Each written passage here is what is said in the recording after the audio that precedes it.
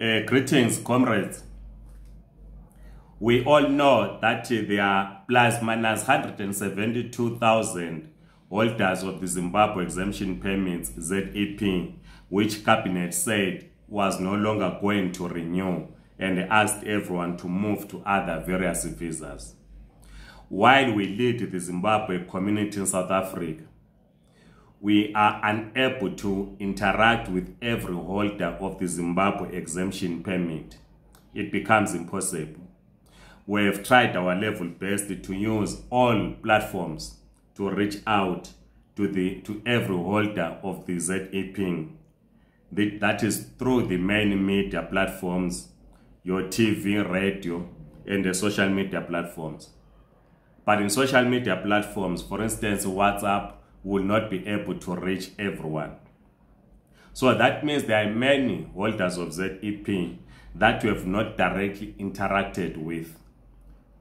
This means that other ZEP holders uh, get information through their own local leaders or those that uh, they are together in some uh, social media platforms, be it a church platform, a business platform, or any other social media platform. So some decisions that are then taken in those uh, media platforms by holders of ZEP do not necessarily represent the general position of the leadership of the Zimbabwe community in South Africa. Others have decided that uh, uh, the best route uh, to resolve or to find a solution to the ZEP is to go through uh, the legal process. That is to, uh, to approach the South African courts. While ourselves we have said uh, we will not go to court, uh, we have clarified in the previous videos why we will not go to court and our decision is not changed. We have always preferred to engage government on the ZEP and the other documentation uh, for Zimbabweans and other migrants. This is why we are part of the African Diaspora Forum. Uh, I'm today on the 18th of uh, March 2022. I had an opportunity to meet with other leaders who are also assisting Zimbabweans uh, who are holders of ZEP uh, I met Comrade Luke Mufaro Zwiti uh, and uh, ben, Comrade Benjamin over lunch in Johannesburg. And the reason why we are explaining this is because there are processes that in the platforms that they are leading, that according to them, they've been asked to look into. So the, our meeting over lunch was basically to share notes on what we do as the leadership of the Zimbabwe community in South Africa. And of course, what they themselves do. And see where we can find common ground. In the meeting, we agreed that uh, they should continue working as, as, as they are working, as we have no moral uh, uh, ground to stop them. Uh, they are leaders in their own right. They should continue working with the people that they are working with and uh, implement the decisions that they are being asked to implement by those that they are leading. But that does not mean uh, we are part of what they have been asked to implement. In the discussions that we had, we shared to them our own engagement with government and political parties in South Africa. And of course, the challenges that, that we are confronted with.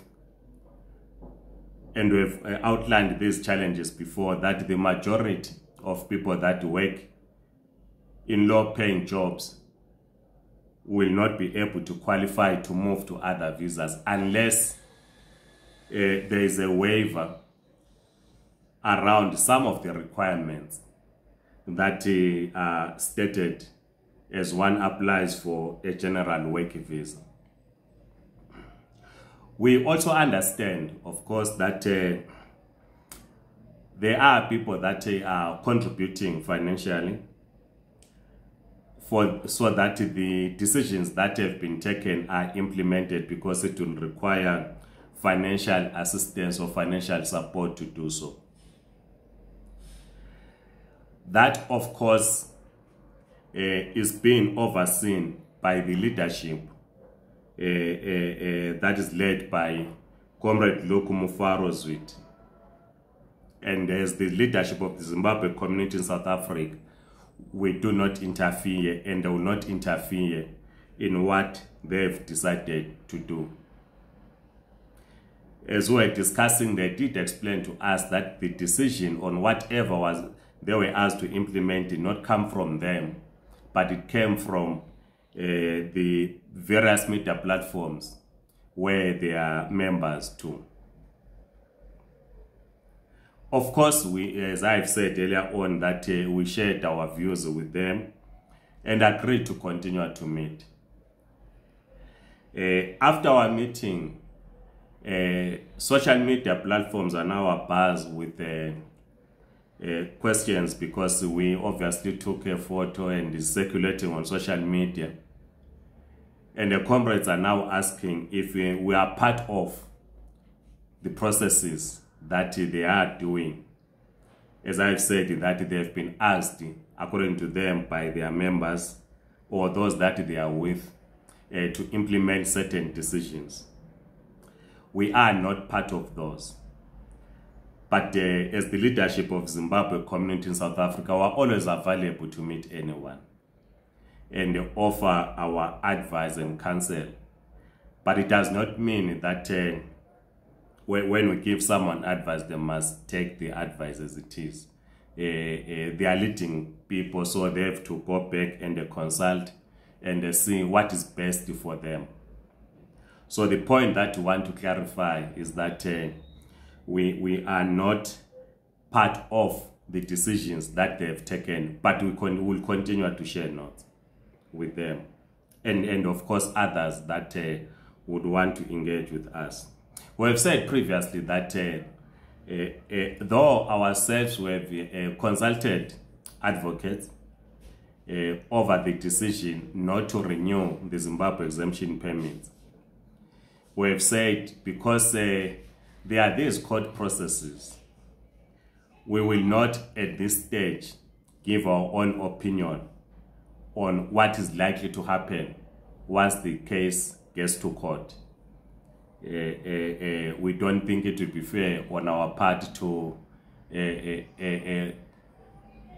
publish or air our own legal opinion, which we have gathered from other advocates. We don't think it will be fair. So this is why we are not doing so at this stage. Uh, what, what we obviously call on holders of ZEP is to indicate areas where they are struggling to apply for ZEP. Uh, this, this is where we come in, where we should be assisting each other. Uh, there are others that are still getting confused on the meaning of a waiver. Some still think that it is uniform, notwithstanding the fact that we've produced about three videos or so explaining the waiver. Uh, and we have said that it is not uniform. So it's important that we hear your challenges in terms of you applying for a permit or to move from ZEP to another visa as directed by the South African Cabinet. Uh, you'll recall that last week Friday we did indicate that uh, we will be meeting uh, or requesting a meeting with the Director General of Home Affairs. In, indeed, we spoke, I personally spoke over the phone with the Director General of Home Affairs and he suggested that uh, we put in writing whatever issue that uh, we want to discuss with him. So it is on this basis that uh, we are making a call to say, uh, share with us your challenges in, in applying uh, or in moving to other visas so that when we then next week write to the Director General, we capture those issues so that the Department of Home Affairs can look into those and uh, see if there is a way they can uh, waiver uh, some of the requirements. Like we said, that the the people, the reason why people were allowed to uh, apply in South Africa who are holders of ZEP, that on its own was a waiver.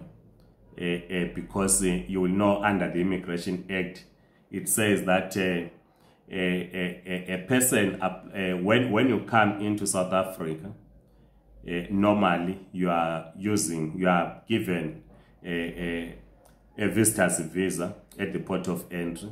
Say you come for an interview, you get a job, you do not change the condition of your visa in South Africa.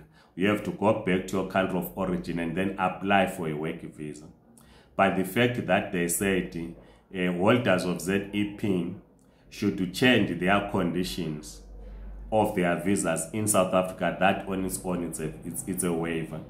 So uh, it's important then that uh, we share with the Department of Home Affairs to say, in our own experience, uh, this is what holders of ZEP are saying in terms of the challenges that they are faced with in, in, in, moving to other visas and seeing whether there's any assistance that can be given uh, to such individuals. So we'll expect you that, that you share.